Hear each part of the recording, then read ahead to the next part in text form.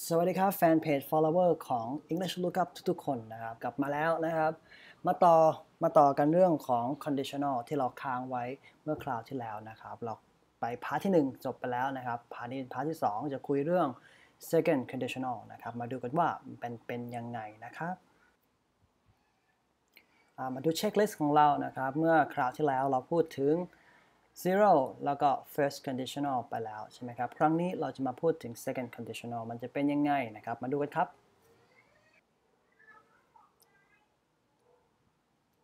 มาดูโครงสร้างกันก่อนดีกว่านะครับ โครงสร้างของ second conditional เป็นแบบนี้นะครับ ก็มี if มาเลยขึ้นต้นนะครับ แล้วก็จะสังเกตว่า part นี้นะครับจะเป็น if clause และก็อีก part หนึ่งก็จะเป็น result clause เหมือนครั้งที่แล้วนะครับ แต่จะต่างกันตรงที่ว่านะครับ พอเป็น second conditional นะครับ if clause จะเป็น past simple จะเป็นโครงสร้างแบบ past simple ซึ่งก็คือมีประธานแล้วก็มีกริยาช่องที่ 2 ใช่ไหมครับ ส่วน result clause ก็จะมีคำว่า would นะครับ แล้วก็ตามด้วย infinitive นะครับ ต่อไปนะครับ ผมจะเขียน v0 นะครับ แทน infinitive นะครับ เพื่อให้ง่ายต่อการจดจำนะครับ จะได้ไม่ต้องเขียนยาวๆด้วยนะครับ เพราะว่าเรามี v1 v2 v3 ไปแล้วนะครับ ก็ใช้ v0 แทน infinitive คือกริยาที่ไม่ผันใดๆทั้งสิ้นนะครับ ส่วนนี้ก็จะเป็นส่วนของ result clause นะครับ ก็มีประธานตามด้วย would ตามด้วย infinitive นะครับ นี่เราใช้ยังไงนะครับ ก็รูปประโยคก็จะเป็นอดีตนะครับ แต่ความหมายมันไม่ใช่อดีตนะครับ ตรงนี้จะเป็น past simple ใช่ไหมครับ แต่ว่าความหมายของมันจะไม่ใช่อดีต แล้วเป็นยังไงนะครับ มันก็ใช้กับปัจจุบันนี่แหละนะครับ แต่มีความหมายเชิงสมมุตินะครับ สมมติว่าถ้าแบบนี้จะเกิดแบบนี้นะครับ ถ้าเป็นแบบนี้จะเป็นแบบนี้ สมมติแบบนี้นะครับ มาดูตัวอย่างประโยคกันครับ If I had enough money I would buy a new car ถ้าถ้ามีเงินเยอะเนี่ยถ้ามีเงินพอนะครับก็จะซื้อรถคันใหม่ใช่ไหมครับก็จะซื้อรถคันใหม่ แต่ถ้าเขาพูดแบบนี้นะครับใช้ประโยคในลักษณะแบบนี้แปลว่าเขาไม่ได้มีเงินพอที่จะซื้อรถคันใหม่ แต่สมมุติว่าถ้าเขามีเขาก็จะซื้อคันใหม่นั่นเองนะครับรูปประโยคมันเป็นอดีต แต่ความหมายไม่ได้เป็นอดีตนะครับความหมายก็เป็นปัจจุบันนี่แหละนะครับก็จะเป็น past uh, past simple ใช่ไหมครับประธานแล้วก็ตามด้วย กริยาช่องที่ 2 ซึ่งตรงนี้ก็เป็นช่องที่ 2 ของ have ใช่ไหมครับ แล้วก็อีก clause หนึ่งซึ่งเป็น result clause ก็จะเป็นประธานตามด้วย would ตามด้วยกริยา ซึ่งเป็น v v0 นะครับ ก็คือ infinitive นั่นเองนะครับ อีกลักษณะหนึ่งของการใช้นะครับ นอกจากจะใช้กับปัจจุบันแล้ว ใช้กับอนาคตได้ไหมก็ได้เหมือนกันนะครับ แต่ใช้กับอนาคตจะเป็นยังไง ก็เป็นเหตุการณ์ที่ดูท่าแล้วจะเป็นไปไม่ได้ง่ายนะครับก็เป็นไปได้ยากนะครับ แต่ว่าถ้าสมมติว่ามันเป็นแบบนั้นนะครับ ก็จะเป็นแบบนี้ต่อไปนะครับ ก็จะมีผลของเงื่อนไขที่เราเซตไว้ใช่ไหมครับ แล้วก็ก็จะมีผลของมันนะครับ แต่เป็นเหตุการณ์ที่เป็นในอนาคตแต่ละเราก็รู้อยู่แก่ใจอยู่แล้วว่ามันเป็นไปได้ยาก เช่น ถูกรางวัลที่หนึ่งอะไรทำนองนั้นนะครับ มาดูตัวอย่างประโยคครับ If I won a lot of money I'd buy a big house นะครับ ถ้าผมถูกรางวัลได้เงินมาเยอะๆเนี่ยนะครับ ผมก็จะซื้อบ้านหลังหลังใหญ่เลยนะครับ ผมก็จะซื้อบ้านหลังใหญ่สักหลังหนึ่งนะครับ ก็ตรงนี้เหลือแต่ดีก็คือ would นั่นเองนะครับ เป็นรูปย่อของมันนะครับ ทีนี้นอกจากประเด็น 2 ประเด็นที่เราพูดไปก็คือ เป็นเหตุการณ์สมมุติใช้กับ ปัจจุบันแล้วก็ใช้กับอนาคตใช่ไหมครับ อีกประเด็นหนึ่งที่เราต้องพูดถึงก็คือคำว่า wish นะครับ wish ตัว C, uh, sh นี้ออกเสียงยาวๆหน่อยนะครับ เป็น sh นะครับ ถ้าออกเสียงสั้นมันจะกลายเป็นตัว ch ไปนะครับ ก็เอามาใช้แล้วก็จะมี clause ตามหลังคำว่า wish นี้นะครับ มันเป็นยังไงมาดูกันดีกว่านะครับ ก็คือ ไม่ได้ใช้แสดงความต้องการนะครับ เพราะว่าบางทีเราอาจจะแปลคำว่า wish ตัวนี้แปลว่า ปรารถนาหรือหวังหรืออยากจะให้มันเป็นนะครับแต่ตรงนี้เนี่ยนอกจากจะแปลอย่างนั้นแล้วเนี่ยในโครงสร้างประโยคแบบนี้นะครับมันจะให้ความหมายหรือความรู้สึกของความไม่สมหวังนะครับ คือปัจจุบันเนี่ยมันเป็นอย่างหนึ่ง แต่ความต้องการของเราที่อยากจะให้มันเป็นมันเป็นอีกอย่างหนึ่งนะครับ แล้วก็เชื่อมโยงไปถึงสิ่งที่สมมุติขึ้นมานะครับ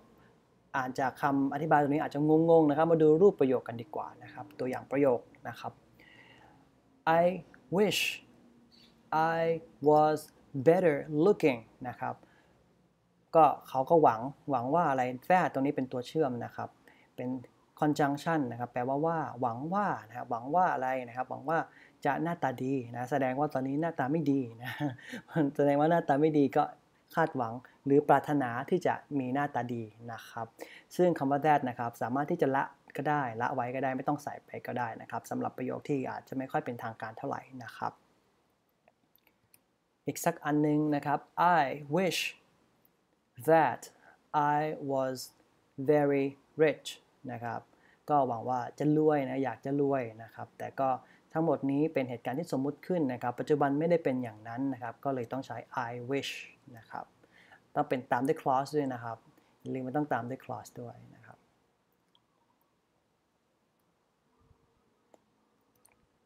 ทีนี้มาพูดถึงกรณีต่อไปนะครับ เราจะพูดถึง to be นะครับ หรือ verb to be นะครับ ปกติถ้ามันอยู่ในโครงสร้างที่เป็นอดีตนะครับสำหรับประธานที่เป็น I he she it นะครับ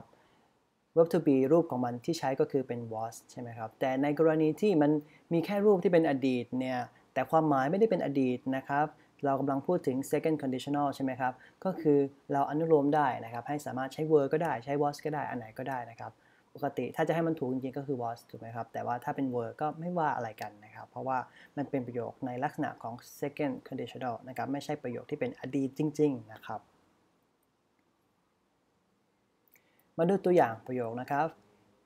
if I were a millionaire นะครับ ถ้าเป็นถ้าเป็นเศรษฐีนะครับ I'd buy a bigger house นะครับ ผมก็จะซื้อบ้านหลังที่ใหญ่กว่ากว่านี้อีกนะครับ ถ้าเป็นเศรษฐีเนี่ยจะซื้อหลังใหญ่กว่านี้นะครับ ก็ I were ก็ได้นะครับ ปกติถ้าเป็นรูปอดีตจริง ๆ เราก็จะจะจะใช้ I was I was ใช่ไหมครับ แต่ตรงนี้ใช้ I were เพราะว่า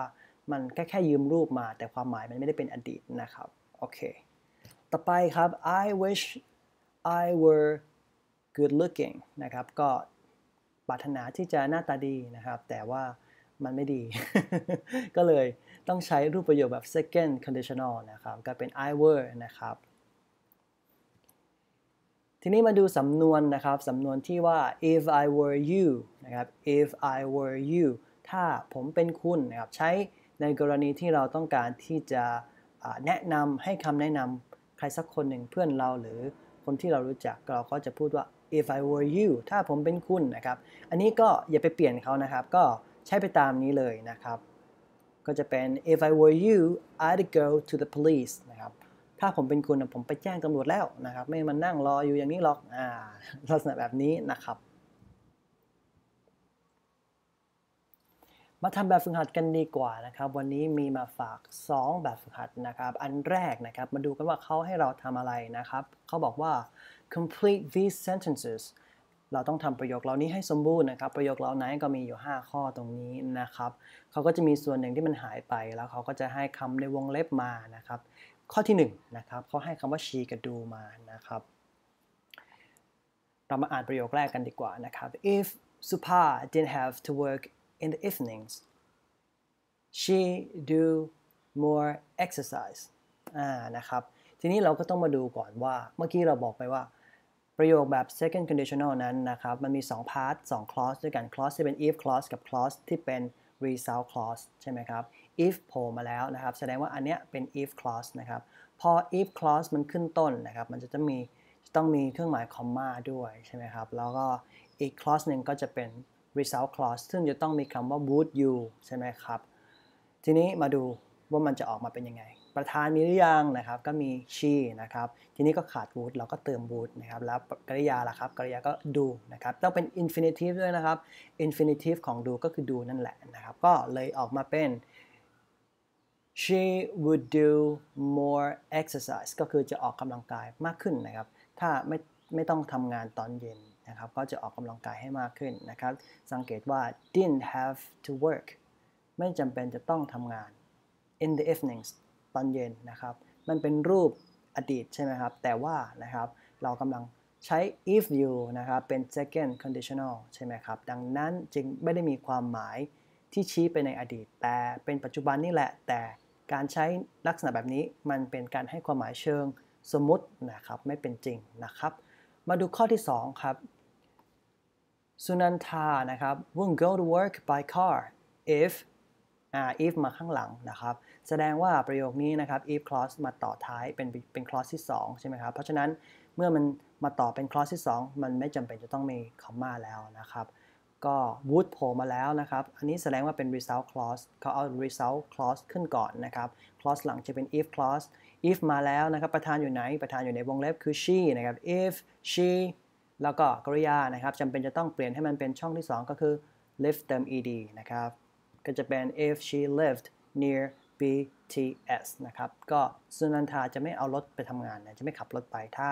เขาเนี่ยอาศัยอยู่ใกล้กับ BTS นะครับ โอเค ข้อที่ 3 ครับไพบูลนะครับ won't be overweight ก็จะยังไงครับ น้ำหนักไม่เกินนะครับ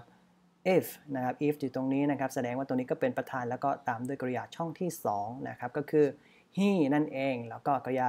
ก็คือ it ต้องเปลี่ยนเป็นช่องที่ 2 แต่เผอิญว่านะครับมันมีคำว่า not มาอยู่ด้วยนะครับ it เป็นคำกริยาแท้นะครับจำกันได้ใช่ไหมครับว่ากริยาแท้คือกริยาที่มันมีความหมายกินเนี่ยมันมีความหมายในตัวเองนะครับ การที่จะทำให้ clause ที่มีคำกริยาแท้เป็นคำเป็น clause ที่เป็นคำถามหรือปฏิเสธจำเป็นจะต้องมี verb to do มาช่วยใช่ไหมครับ แล้วพอเป็น verb to do มาช่วย เวลาเราจะผันให้มันเป็นโครงสร้างตามเทนนั้นเซนนี้อย่างนี้นะครับ เราก็จะต้องผันที่ตัวกริยาช่วยตัวนั้นก็คือ verb to do นะครับ เราจะไม่ผันตรงตัวคำกริยาแท้นะครับ เพราะฉะนั้นหน้าตาที่ออกมาก็จะเป็นแบบนี้นะครับ if he didn't eat so much นะครับ ถ้า ไพบูลเนี่ยจะไม่น้ำหนักเกินนะครับ ถ้าเขาไม่กินเยอะเกินไปนะครับ เราจะผันตรงที่กริยาช่วยนะครับ เราไม่ผันตรงที่กริยาแทนนะครับ ต่อไปครับข้อที่4นะครับ if Wicha didn't uh, didn't live in an apartment ถ้าวิชาไม่อาศัยอยู่ในอพาร์ตเมนต์นะครับ แสดงว่าอันนี้ if clause อีก clause หนึ่งเป็น result clause นะครับ ก็มีประธานคือ he นั่นเองนะครับ ขาด would เราก็ต้องเอา would ไปใส่ใช่ไหมครับ แล้วก็ ตามด้วยคำกริยาซึ่งเป็นรูปของ infinitive ก็คือ have นั่นเอง ก็จะเป็นแบบนี้นะครับ he would have a dog นะครับ ถ้าถ้าวิชาเนี่ยเขาไม่ได้อาศัยอยู่ในอพาร์ตเมนต์แสดงว่าถ้าเขามีบ้านเป็นของตัวเอง หรือ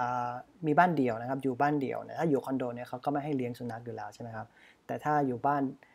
ถ้าอยู่บ้านเดี่ยวสามารถเลี้ยงได้เนี่ยแต่เขาอยู่ในอพาร์ตเมนต์ใช่ไหมครับเขาเลยเลี้ยงเลี้ยงสุนัขไม่ได้นะครับ ถ้าเขาเนี่ยไม่ได้อยู่ในอพาร์ตเมนต์เนี่ยเขา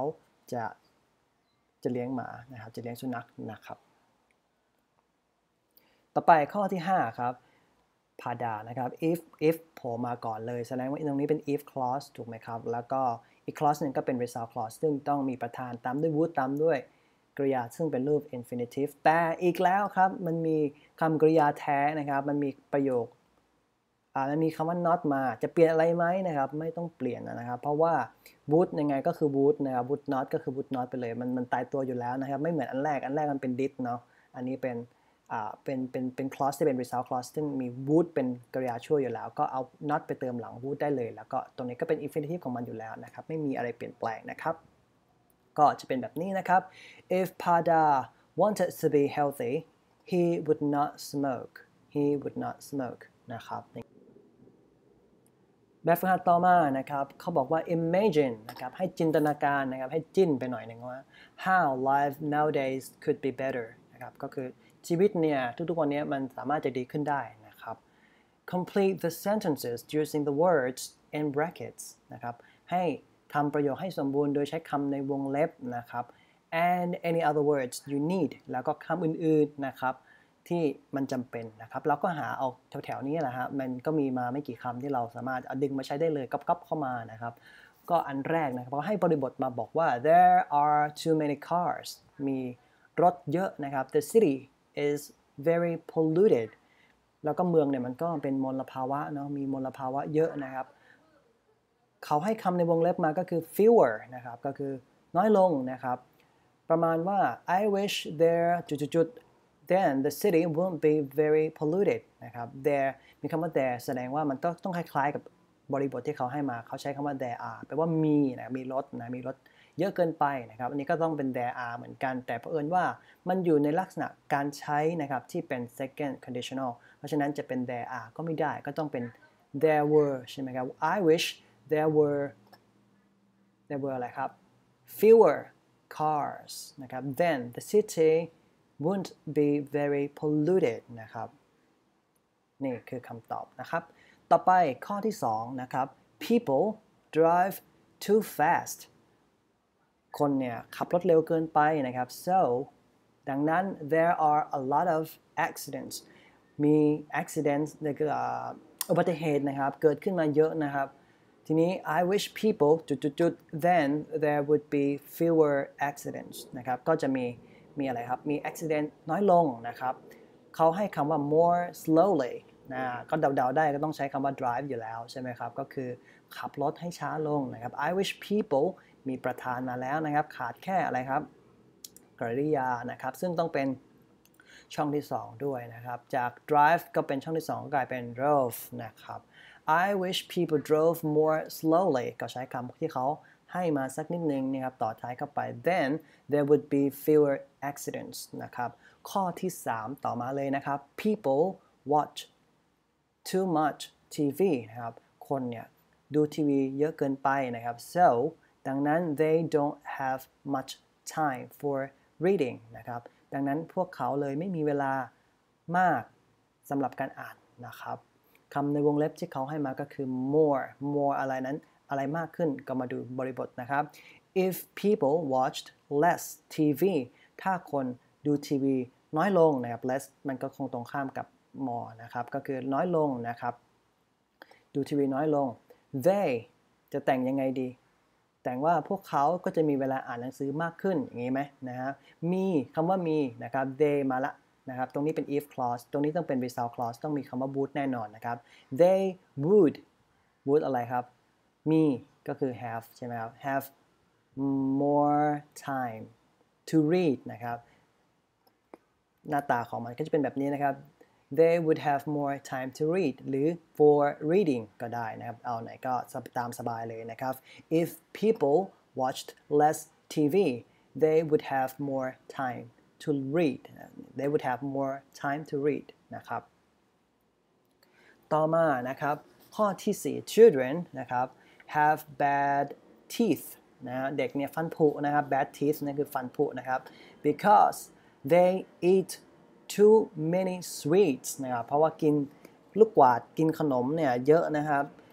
คำว่า sweets นี่เป็นภาษาของคนอังกฤษนะครับ ถ้าเป็นคนอเมริกันเขาจะบอกว่า candy นะครับ candy นะครับ เขาให้คำในวงเล็บมาคือ fewer นะครับ fewer ก็คือน้อยลงนะครับ เขาบอกว่า children would have better teeth เด็กๆ เนี่ยจะมีฟันที่ดีขึ้นนะครับ ก็คือฟันจะไม่ผุเนี่ย if if มาตรงข้างหลังนี้นะครับ if they they ก็มาแล้วนะ เป็นประธานนะครับ ทีนี้ขาดกริยาช่องที่ 2 นะครับเอาอะไรดีนะครับ ถ้าพวกเขากินน้อยกินขนมน้อยลงใช่ไหมครับ ก็ eat ละกัน ช่องที่ 2 ก็จะเป็นอะไรครับ ate fewer sweets นะครับ fewer เขาให้คำว่า fewer มานะครับ children would have better teeth if they ate fewer sweets นั่นเองนะครับ โอเค หมดแล้วแค่นี้นะครับ เราผ่านในเรื่องของ second conditional ไปครั้งหน้านะครับ เราจะมาพูดถึง third conditional นะครับ มันจะเป็นยังไงก็ติดตามกันครั้งหน้าละกันสำหรับครั้งนี้ก็ สวัสดีครับ